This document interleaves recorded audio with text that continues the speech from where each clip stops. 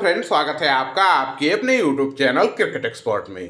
दोस्तों world cup 2023 का उनतीसवां मुकाबला भारत और इंग्लैंड के बीच 29 अक्टूबर को भारत रत्न श्री अटल बिहारी वाजपेयी इकाना क्रिकेट स्टेडियम लखनऊ में खेला जाना है और आज के इस वीडियो में इसी इकाना के क्रिकेट पिच का प्रिव्यू हम करने वाले हैं। कुल मिला के पाँच वनडे मुकाबले इस वर्ल्ड कप में खेले जाने थे, जिनमें से तीन मुकाबला हो चुका है। ये चौथा मुकाबला है। इसके अलावा तीन नवंबर को नीदरलैंड और अफ़गानिस्तान इस वेन्यू पे आपस में टकराएँगी। तो आज के इस वीडियो में इकाना के क्रिकेट पिच की ओर हम देखते हुए ये समझने का प्रयास करेंगे कि भारत इंग्लैंड के बीच होने वाला ये महत्वपूर्ण मुकाबला और इसके अलावा नीदरलैंड और अफ़गानिस्तान के बीच होने वाले इस मुकाबले में ये पिच कैसा खेल दिखाएगी, अब तक जो मुकाबले हुए हैं, उनका स्टेट्स क्या कहता है? ढेर सारे फैक्ट और इन्फॉर्मेशन के साथ जुड़ रहे हैं। ज़बरदस्त नॉलीवुड वीडियो है दोस्तों, अंत तक देखिएगा, लेकिन चैनल को सब्सक्राइब नहीं किया तो ज़रूर कर लीजिए। साथ ही नोटिफिकेशन के बेल पर आल वाला बटन ऑन कीजिए। वीडियो पसंद आए तो एक लाइक कीजिए। दोस्तों, सबसे पहले इकाना के पिच की नेचर की ओर अगर हम देखें तो यहाँ पर हमें बैलेंस क्रिकेट देखने को मिलता है। एक तरफ़ जहाँ पर थोड़ी अच्छी लाल मिट्टी की पिच पर जब मुकाबले होते हैं तो अच्छी बैटिंग पिच देखने को मिलती है, वहीं पर थोड़ी उछाल भरी गेंदबाजी भी रहती है जो तेज गेंदबाजों को असिस्टेंस करती है और थोड़ा बहुत यहाँ पर स्पिनर्स को भी मदद मिलता है, लेकिन जब मुकाबले काली मिट्टी की पिच पर होते हैं तो यहाँ पर स्पिनर्स का कद थोड़ा ज़्यादा बढ़ जाता है, बल्लेबाजी करना थोड़ी मुश्किल हो जाती है। वैसे कौन सी पिच पर कौन सा मुकाबला होगा ये जानने के लिए आप हमसे टेलीग्राम पर जुड़ सकते हैं। जिसका लिंक हमने वीडियो और चैनल के डिस्क्रिप्शन में दे रखा है या फिर लिंक ना काम करे तो सीधे भी टेलीग्राम पे जाके क्रिकेट एक्सपर्ट बाय विवेक के नाम से सर्च करके आप ज्वाइन हो सकते हैं। यहाँ पर हम टॉस के बाद शेयर देते हैं हैं। आपको प्रोवाइड करते हैं ये मैसेज कि कौन सी पिच पे कौन सा मुकाबला होगा पिच का उस पर्टिकुलर मुकाबले में क्या रोल होगा और इसके अलावा सबके लिए बिल्कुल फ्री में एक फैंटेसी टीम भी देते हैं। वैसे दोस्तों पिछले तीन मुकाबले जो यहाँ इकाना की पिच पर हुए हैं उन सबको ऐड करने के बाद यहाँ पर अब सात वनडे मुकाबले हुए हैं। इस वर्ल्ड कप से पहले केवल चार मुकाबले इकाना के पिच पर हुए थे तो इन सात मुकाबलों में तीन बार पहले इनिंग में बैटिंग करने वाली टीम ने तो चार बार चेज करने वाली टीम ने मुकाबले जीते हैं। पहले इनिंग का एवरेज स्कोर 230 है हाईएस्ट टोटल इसी वर्ल्ड कप में साउथ अफ्रीका और ऑस्ट्रेलिया के बीच, जो कि यहाँ इकाना का पहला मैच था इस वर्ल्ड कप में। इसी मैच में बना था साउथ अफ्रीका ने सात विकेट पे 311 का योग बनाया था लोएस्ट टोटल में अफगानिस्तानी टीम वेस्टइंडीज के अगेंस्ट एक सौ चौरानवे तक पहुँच पाई थी।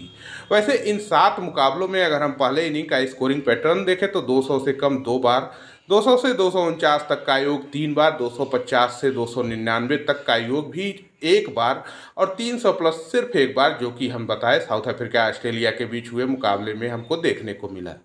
वैसे दोस्तों, इकाना की बाउंड्री देखें तो पैंसठ से 80 मीटर के रेंज में चारों ओवर की बाउंड्रीज कवर होती है। मतलब ये स्मॉल टू मॉडरेट किस्म की बाउंड्री यहाँ पर भी हमको देखने को मिलती है। तो वहीं पर बात करें, अगर भारत और इंग्लैंड के बीच होने वाले इस मुकाबले के लिए दोनों टीमों के स्टेट्स की तो इंग्लैंड को अभी यहाँ पर पहला वनडे मुकाबला खेलना है। अभी तक इंग्लैंड टीम यहाँ पर कोई भी ओडीआई मैच नहीं खेली है तो भारत ने सिर्फ़ एक मुकाबला खेला है। इस वर्ल्ड कप के पहले साउथ अफ्रीका के अगेंस्ट भारतीय टीम यहाँ खेली थी, लेकिन उस मुकाबले में साउथ अफ्रीका ने भारत को हरा दिया था।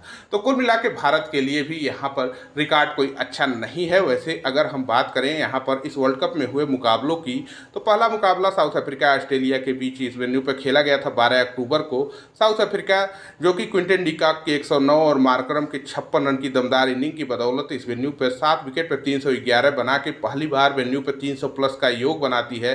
लेकिन ऑस्ट्रेलिया की टीम पूरी तरह से कोलैप्स होती है, एक पे ऑल आउट हो जाती है। टीम मैच में गिरते हैं 17 विकेट तेज गेंदबाजों के नाम 10 तो स्पिनर्स के नाम आते हैं सिर्फ़ सात विकेट दूसरा मुकाबला 16 अक्टूबर को देखने को मिलता है। एक बार फिर से ऑस्ट्रेलिया की टीम यहाँ पर खेलती है, लेकिन सामने इस बार श्रीलंका थी और यहाँ पर श्रीलंका पहले खेलने उतरती है और श्रीलंका की टीम 209 रन बना के ऑल आउट हो जाती है।